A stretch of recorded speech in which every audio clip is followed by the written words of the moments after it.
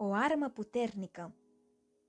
De aceea, luați toată armura lui Dumnezeu ca să vă puteți împotrivi în ziua cea rea și să rămâneți în picioare după ce veți fi biruit totul. Stați gata, dar, având mijlocul încins cu adevărul, îmbrăcați cu platoșa neprihănirii și având picioarele încălțate cu râvna Evangheliei păcii. Pe deasupra tuturor acestora, luați scutul credinței cu care veți putea stinge toate săgețile arzătoare ale celui rău. Luați și coiful mântuirii și sabia Duhului, care este cuvântul lui Dumnezeu. Efeseni 6, de la 13 la 17. Într-o zi, Cosmin și Daniela au primit un telefon de la prietenul lor, Răzvan. Dorea să îi roage să-l ajute să se răzbune pe un coleg de-a lui care îi furase un stilou. Dar pentru că ei tocmai învățaseră versetul din Roman 13 cu 10, dragostea nu face rău aproape lui, Cosmin și Dana l-au refuzat pe Răzvan.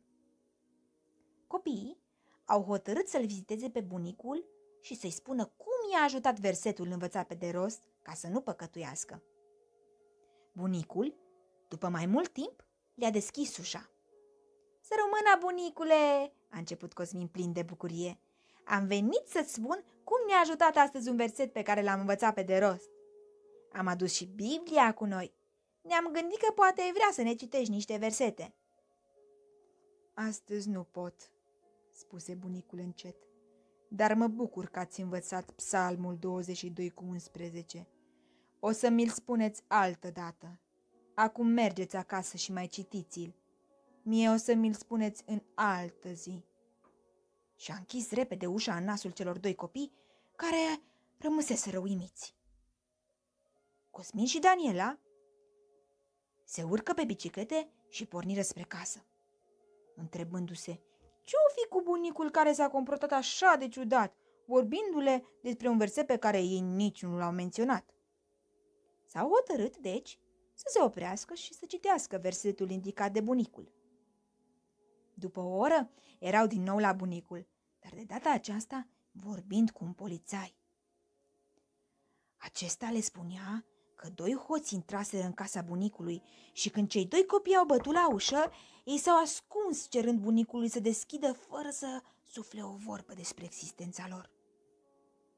După ce copiii au plecat, aceștia au ieșit din ascunzătoare, l-au legat pe bunicul și au început să îi fure lucrurile de valoare, dar în timp ce acționau, au fost întrerupți de poliție.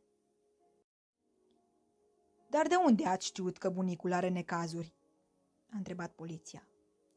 Bunicul s-a purtat foarte ciudat cu noi. Ne-a trimis acasă, spunându-ne indirect să învățăm un verset din Biblie, a explicat Cosmin. Da, a intervenit Dana. Și pentru că ni s-a părut foarte ciudat, ne-am oprit pe drum să citim versetul. Atunci ne-am dat seama că bunicului se întâmplă ceva. Dar ce spune versetul acela? Versetul spune, nu te depărta de mine, că se apropie necazul și nimeni nu vine în ajutor, răspunse Dana. Cosmin se adresă bunicului. Dacă hoții ar fi ascuns cuvântul lui Dumnezeu în inima lor, nu ar fi ajuns să facă așa rele mari. Așa este, fu de acord bunicul. Biblia este mai ascuțită decât sabia cu două tăișuri. Este arma noastră împotriva păcatului, o armă puternică. Dar tu folosești tu această armă, Biblia. Citește-o, învață-o, apoi aplică lecțiile pe care le înveți în viața ta zilnică. Căci cuvântul lui Dumnezeu este viu și lucrător, mai tăietor decât orice sabie cu două tăișuri. Evrei 4 cu 12